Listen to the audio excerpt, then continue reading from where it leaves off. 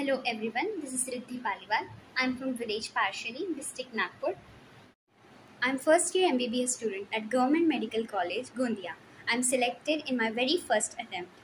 I'm very excited to share my hostel room tour with you. So let's get started. This is my side of the hostel. This is the bed which is given by a warden. This is the table. This is the window of my room. I brought a watch for myself. My cooler. This is my wardrobe given by warden.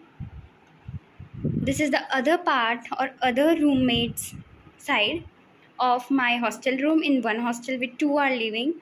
This is her wardrobe, bed, fan which she brought herself, and a table, chair.